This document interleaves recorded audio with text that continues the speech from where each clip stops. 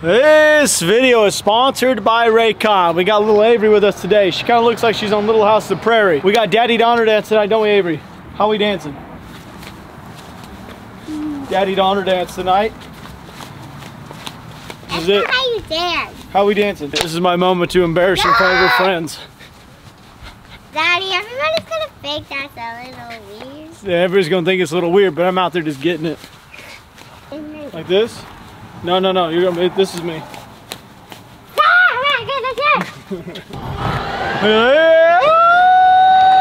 I know it goes all the way out. So I decided to get one of these. You guys know last year I had a fifth wheel.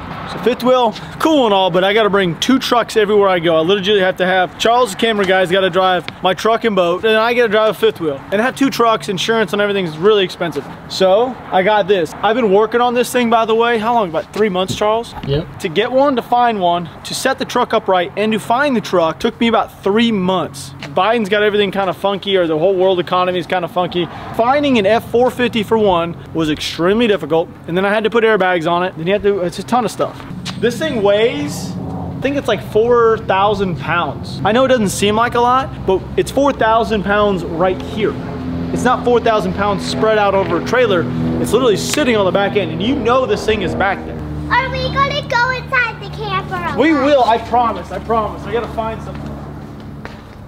Well, good, I got it. So I wanted this because Avery, she loved the fifth wheel. She wants to go camping and stuff. It just made life a lot easier. Oddly enough, this thing was a little bit more expensive than a fifth wheel, but turn it on. Left side, right side. It's kind of cool, ain't it? Do I need to put the legs down, you think? Probably not just to send them out. Look at that, that's cool. All right. This is the largest one you can buy in the world. It has two slide outs and you do not want to put this thing on a 3500 because if you guys look down here, so I actually had it built, or I say built, it's not, it's not built, but I, I had it installed an extension hitch. So when I'm driving, now I can take this one rig you're about to see the inside of and I can pull my boat. So now when I want to go to New York or I want to go to Michigan or Wisconsin or anything up there, I don't have to pull two trucks and a fifth wheel. It's just so expensive. Granted, gas is a little high right now. It's going to be expensive. I can take this one rig and I can pull over on the side of the road and I can sleep. I have one rig. This, it makes me feel so much better. So, I mean, it is pretty big. It is the biggest one you can buy. Um, and I mainly did it because when I go out, I'm to be gone for like a week and I have myself, my camera guy, Charles, and then Cammy will be with me. And then of course Avery likes to go and we can use it for hunting excursions. Hell yeah. Elk hunting? Yes. I don't have to be hooked up to water. I'll be running on lithiums and then I'll have water tanks in here. So and I there's can, a generator. Too. and there's a dang jet, which we haven't showed them now. We'll show them here in a second. So here we go. All right, so how you guys thinking about it? It is big, ain't it? Do you like it? Are you a big fan of it? You want to camp in here? I wanna get in here. All right, so there's a freezer, but this is where Avery's bed is. And I don't exactly entirely know how it works. Yeah, yeah, here's Avery's bed. So fold all the way down. There's a little mattress, which I have underneath here. All the little squishy pieces. Which, oh, so there's where Avery will sleep, is right there. Here, let me put it back. Very cool. My bed, nobody That's- else. Nobody else's. Nobody's gonna want that one. This looks like it does something too. This Yeah, this turns into a bed right here as well. So there's a full bed. So when we're on like the road, I'm gonna be gone for a week. This turns into a bed. Those actually recline. Leg pops up. I haven't tested any of this out, so this is the first time doing any of this.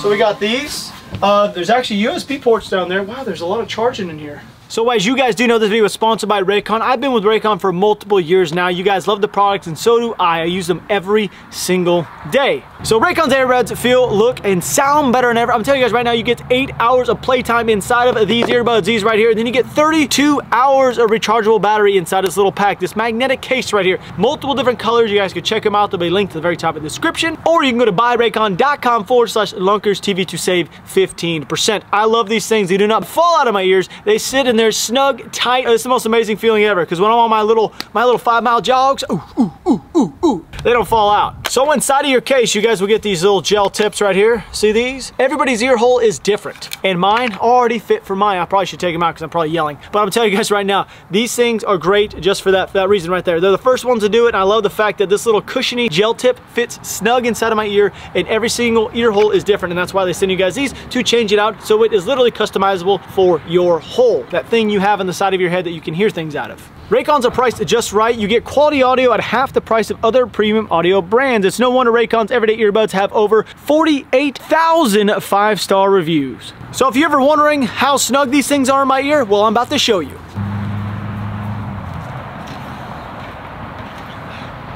They're in my ear still. I'm too old for that. These son of a guns stayed in. So make sure you go check him out. Go to buyraycon.com forward slash Lunkers TV to save 50% and it'll be linked in the very top description. Thank you so much to Raycon for sponsoring this video. And what is that? What's that? This is a fan, so when Cammy's cooking, it doesn't leave all that nasty smell in here. So here's this. This is pretty neat. So there you go. Probably need to lock it, huh, Avery? Now it's all locked. Can you imagine you're like cooking, you just set something down on there? So the best part about this thing, I'm gonna tell guys, you. guys, I got a, I got a clue. I She I got a you clue. erased right. Look up here. You guys have steps. This So- is a lot bigger than I thought. You know what's crazy? So you guys know Avery's been on camera her entire life, six years, almost seven years now. She knows what cameras. She knows when that camera turns on. She reminds me of Jared Outlaw. Camera's on, but each one of these things lock, pretty solid lock. I like that. Full blown. Daddy, I'm scared about that little beeping. She's talking about the fire uh, fire alarm. But look, fans, Daddy! lights. I know. Give me one second. Got these.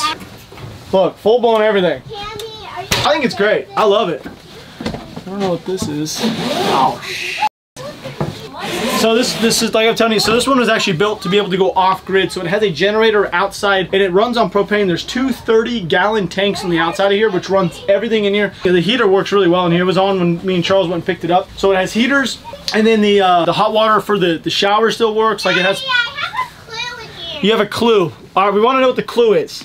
Come on. Charles, go see what the clue is. Come in here. It's in here. It's right there, and I don't know what that is. What is it? I don't know either. I can't see. It's like a shallow, like, space. A it's little. a compartment. It's probably, I don't know what it is. Is there a TV on this side? No. No way. Yeah, look. And you can get on the roof too. You can literally. Oh, this is awesome. Oh, wow. This is nice. It's like cool out. Hey, you want to see? We need to figure out how this TV thing works. This TV has to move, right? There's no way that it wouldn't move, right? There's solar panels, which is kind of a big deal.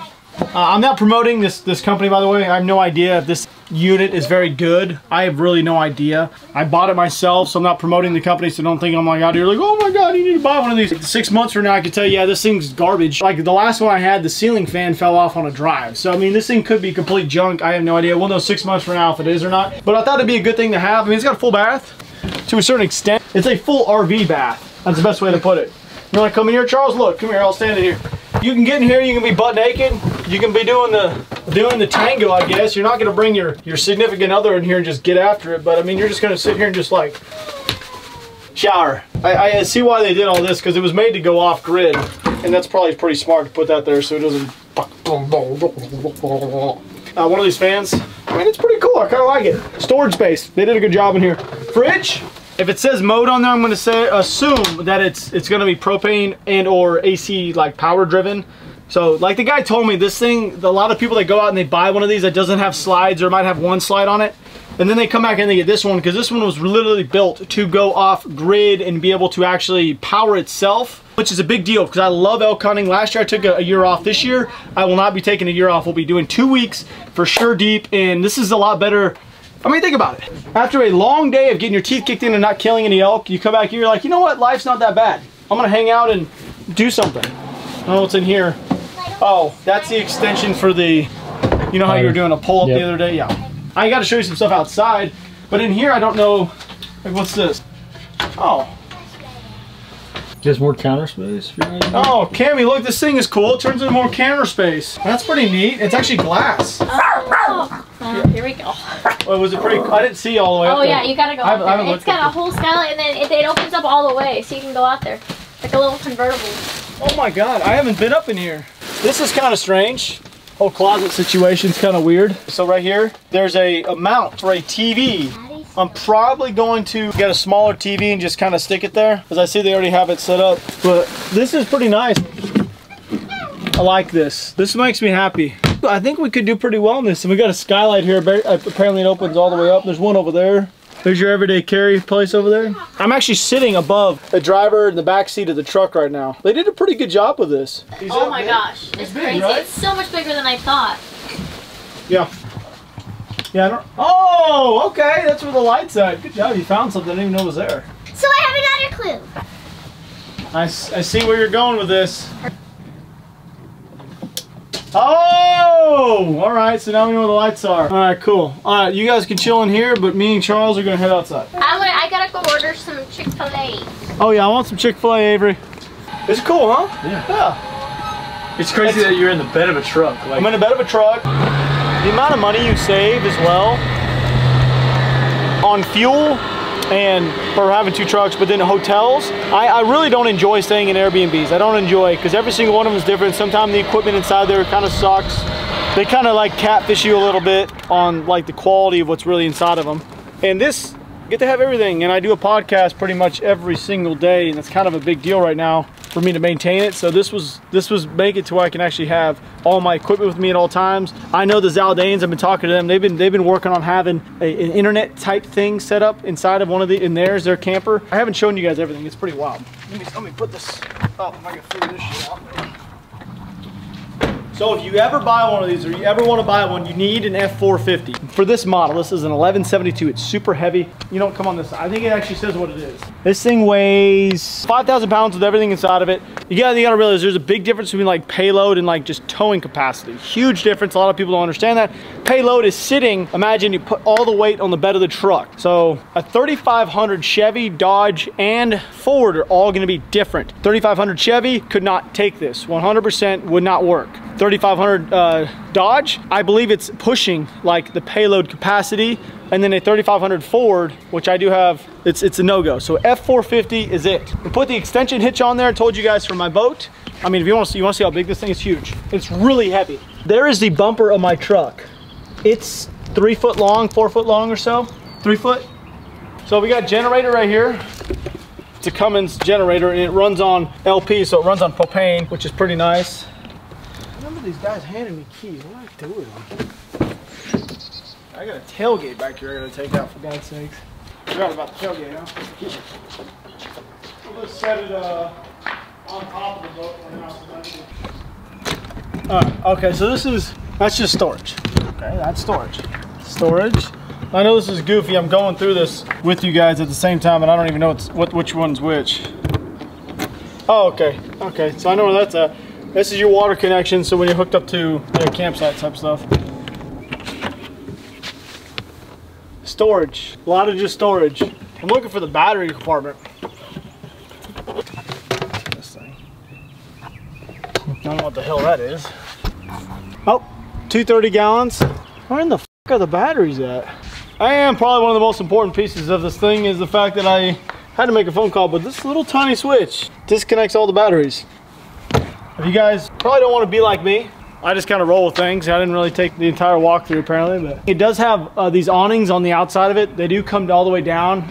They have wind sensors on them, so they actually retract. I don't really trust them, to be honest with you, so I'm just gonna probably not leave them because I don't want to have to pay for it. The other thing is these jacks come down, so this thing will literally sit by itself, and then you can pull the truck out from underneath it. So when we're, we stop at a campsite or anywhere, the truck will actually become mobile. The only thing I'll have to do is probably remove that rear hitch, because if I don't, then it'll have like this much sticking off the back. Some stuff you have to take keep in mind. You have to add these, little stabilizer things. It, it just takes a little bit longer to get one of these things set up. And this truck, it was built clearly for this, this whole reason. So if you guys go to buy something like this, plan to spend about a month waiting to get your truck prepped for your camper. It takes quite a bit of time. But it's pretty much that. I'm excited about it. You guys know this truck. I've got another one on order so I can swap them out, which now I'm realizing I probably don't want to do because it just takes so long, and too much of a tedious tags. I was gonna wrap this thing, but it costed like 11 or 12 grand.